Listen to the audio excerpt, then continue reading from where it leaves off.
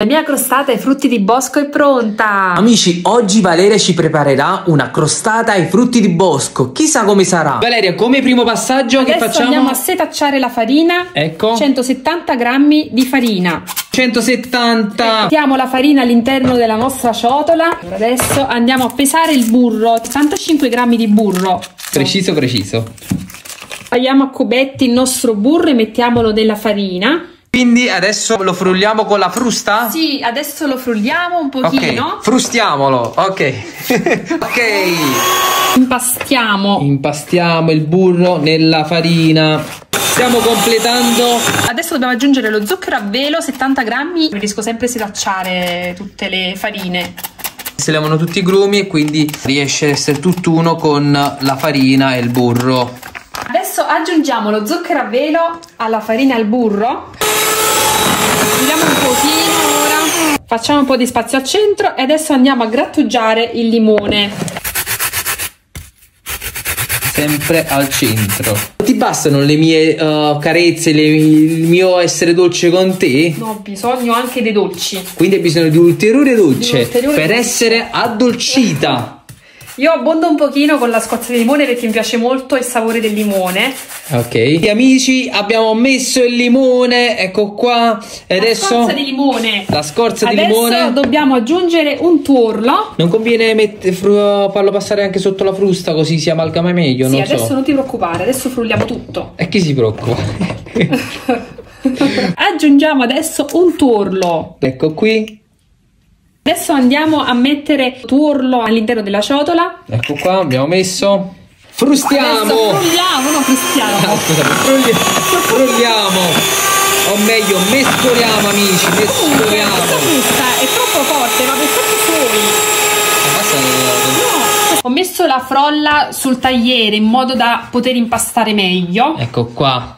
Eccola Eccola qui, qui! la nostra pasta frolla. Impellicoliamo la nostra pasta frolla e Ecco. mettiamola a riposare in frigo per 30 minuti. Dovete sapere, amici, che la crostata ha origini umili. Pensate che la crostata è stata assaggiata per la prima volta da un marchese che si trova in viaggio verso Napoli. Mentre si trovava in viaggio, si ruppe la ruota del suo carro e fu ospitato da una famiglia di contadini che gli offrì questo dolce. Lui, innamorato di questa crostata, di questo dolce, chiese la ricetta alla famiglia dei contadini e la consegnò alla corte dei Borboni.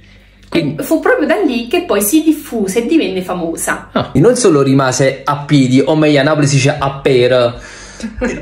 E si è rubato pure l'idea, tra l'altro. Non l'ha Vabbè. rubata perché l'ha chiesto, ha chiesto questo... Ha chiesto il permesso allora. Questa gente che eh, potevano diventare così famose anche loro, non hanno saputo tenere in mano loro. Quindi è una bella storia. Continuiamo con il nostro dolce. E ora prepariamo la crema pasticcera. Andiamo. Vai, ti voglio vedere adesso. Allora adesso cosa facciamo? Allora amici, adesso aggiungiamo 200 ml di latte intero. Adesso mettiamo il nostro latte all'interno di una pentola abbastanza Ok. capiente. Adesso mettiamo 50 ml di panna fresca. Ok. Qui Ok. Mettiamo dentro. latte. Ok. Adesso andiamo ad aggiungere al latte e alla panna questa fiala alla vaniglia. Io preferisco la fiala, ma potete scegliere anche di mettere mezzo baccello di vaniglia, come preferite. Perfetto. Andiamo. Adesso ci servono tre tuorli, Ok. Ah, giusto, giusto tre. giusto tre. Ok. Ecco il terzo tuorlo. Ecco Ok, qua. Ci siamo quasi. Adesso pesiamo 70 grammi di zucchero. Pesato 70 grammi di zucchero, adesso andiamo Ecco ad qua. aggiungerlo ai tuorli. Adesso dobbiamo pesare l'amido di mais. Mescoliamo lo zucchero con i tuorli. Tre tuorli. Adesso aggiungiamo 25 grammi di amido di mais. Ecco qua 25, ok, 25 grammi di amido di mais. Dovete sapere che la, Setacciato. esatto, setacciato, dovete sapere che l'amido di mais va a fare cremosa la nostra crema. L'amido di mais è un ottimo addensante. Aggiungiamo al latte alla panna i tuorli, lo zucchero e la maizena facendoci aiutare dal leccapentole. Appena la crema pasticcera diventa densa, spegniamo il fuoco. Pronta la nostra crema pasticcera, adesso mi faccio aiutare da un leccapentole per Levare tutto. trasferirla in una ciotola. Adesso metto la pellicola e la faccio raffreddare prima fuori dal frigo e poi in frigo per circa un'ora.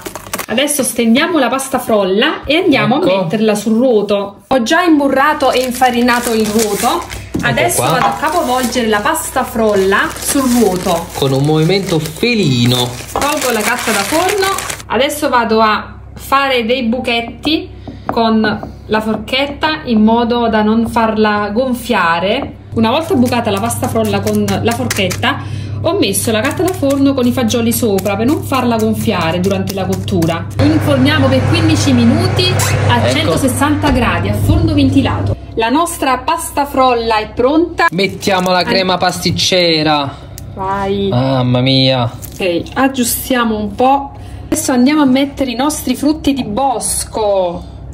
Faccio una piccola decorazione. La mia crostata ai frutti di bosco è pronta. Mamma mia, che bontà. Mamma mia, buonissima.